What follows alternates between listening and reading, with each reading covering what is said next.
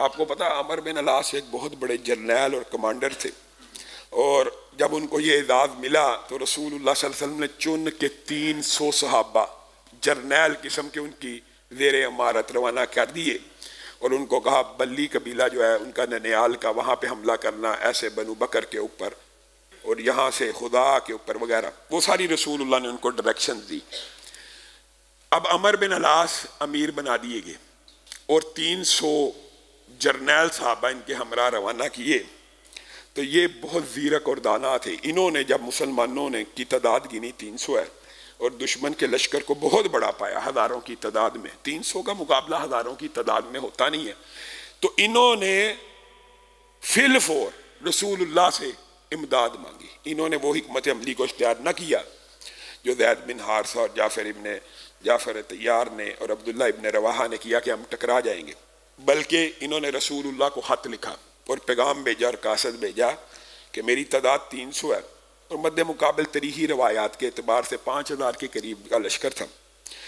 तो मैं ये मुनासिब नहीं समझता कि मैं इनके साथ टकराऊँ, मुझे कुमक भेजी जाए।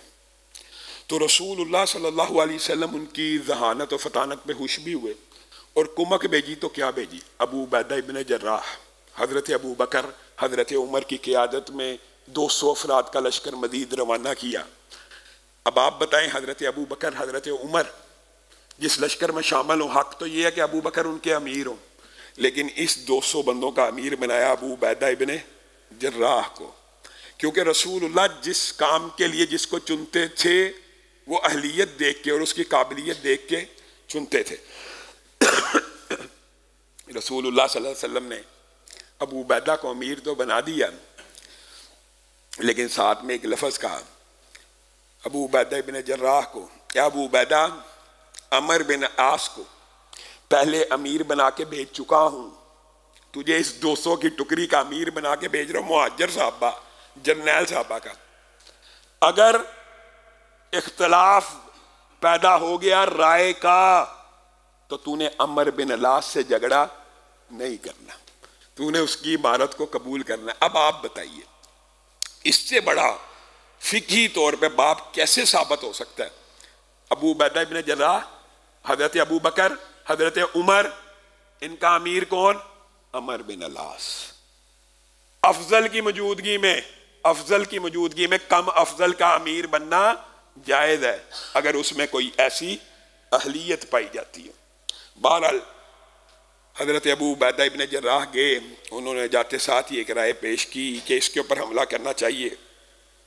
अमर बिन लास ने कहा, मैं इनके ऊपर नहीं करूँगा। मैं दूसरे कबीले के ऊपर करूँगा। जाते साथ इख्तलाफ पैदा हो गया।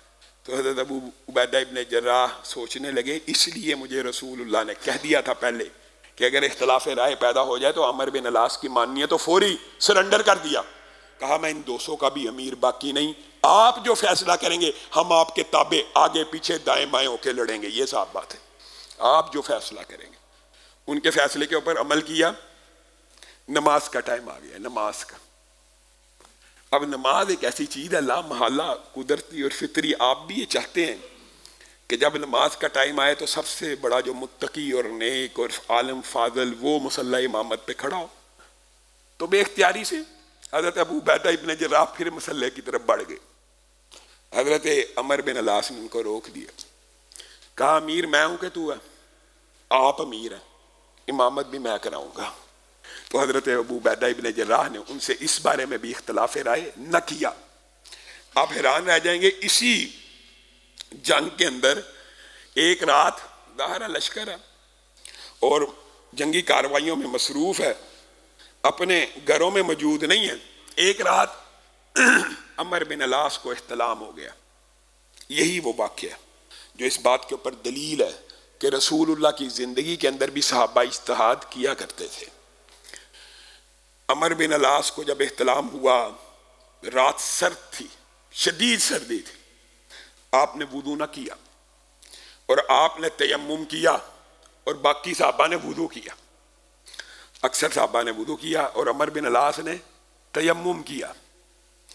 और साथ ही साहबा को आयत भी पढ़ के सुना दी कि अल्लाह ने कुरान में कहा, अपनी जानों को हलाकत में मत डालो।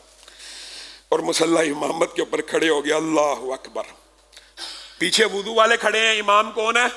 तयम वाला। यहाँ से ये बात साबित होती है कि तयम करने वाला तहारत को अगर तयम के तरीके से भी हालत मजबूरी में या शरी उधर के ऊपर करता है तो वो बावजूद लोगों की इमामत करवा सकता है। एक जैसे ताहिर है। नीयत हो तो तयम वाला वुदू के बराबर है। ये आपको किसने कह दिया कि तयम करने के बाद इंसान जो है, वो फिर भी वुदू की कम कफियत। ये फ़िकी अबवाब इस्लाम में मौजूद नहीं है। इस्लाम सीधा, खुला, ओपन, रोज रोशन की तरह यहाँ है। हदीस वादे है। यहाँ पे अमर बिन अलास के इजतहाद को जब वो वापस गए थे, रसूलुल्लाह ने पसंद फरमाया और रसूलुल्लाह ने कबूल किया और उनकी जंगी हमत अमली को भी कबूल किया, उनके मुसल्ला इमामत में खड़े होने को भी कबूल किया, उनके तयम को भी कबूल किया और उम्मत के ऊपर क़्यामत तक के लिए इस आसानी को भी कबूल कर दिया।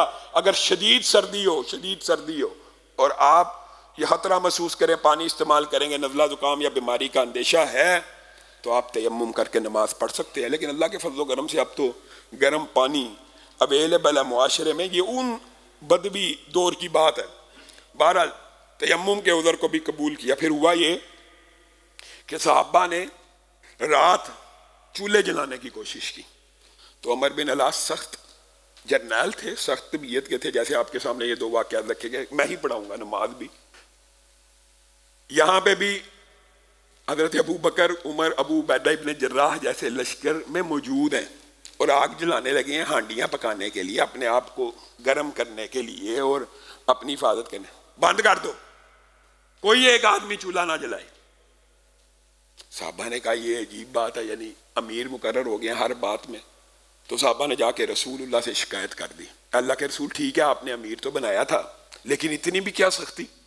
इतनी भी क्या सख्ती कि हम आग जलाने लगे तो हमें आग भी नहीं जलाने दी। हम सर्दी से मर जाते कब कबा रहे थे, हमें आग भी नहीं जलाने दी। तो यहाँ पे रसूलुल्लाह सल्लल्लाहु अलैहि अमर को बुलाया और पूछा हाँ जी, आपने आग नहीं जलाने दी, ये क्या बात है? चलो बाकी बातें तो आप अमीर हैं, आपने की हैं। वाह, अल्लाह के रसूल, जंगी हमत अमली की वजह से नहीं जलाने दी। अगर चूल्हे जल जाते तो वो जो पाँच छः हज़ार का लश्कर था, उसको हमारी तादाद का इलम हो जाता। तो रसूल वसल्लम इतना खुश हुए, इतना खुश हुए कि अमर बिन अलास को फिर ये एजाज बख्शा एजाज बख्शा। और आप इनके कबूल इस्लाम का वाक्य अगर पूरे का पूरा देखें, वो भी एक सीरत का सुनहरी बाब है। इनको ये रसूलुल्लाह ने एजाज बख्शा कि इसी तरह की, इसी नवैयत के मुकदमात आए। तो रसूलुल्लाह ने अमर बिन अलास को कहा, ये दो फरीक आए हैं, मुकदमा लेके आप फैसला कीजिए। इनकी जहानत फतानत और हमत अमली को देख कर तो कहने लगे, अल्लाह के रसूल, आपकी मौजूदगी में मैं फैसला नहीं करता। कहा, हक तो मेरा है। हक मेरा है कि मैं फैसला करूँ। लेकिन आज अपना हक आपको तफवीज करता हूँ। मेरी मौजूदगी में आप फैसला करें।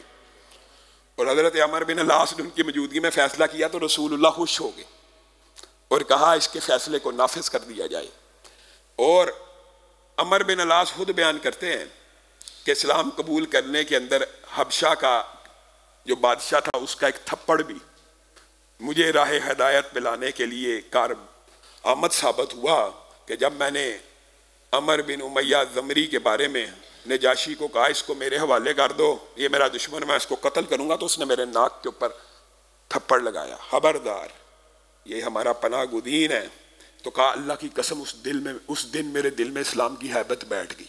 कि रसूलुल्लाह से हबशा के बादशाह भी उनके कासदों को अमान देते हैं और उनके ऊपर ईमान लेके आते हैं। ये ज़रूर एक दिन दीन गालब आके रहेगा। और यही आहिस्ता आहिस्ता जो तब्दीली है हज़रत हालत इबन वलीद की और अमर बिन अलास की और उस्मान बिन तलहा की।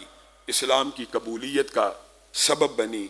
इन यहीं से आइंदा आने वाले खुतबे में अपनी बात को शुरू करेंगे।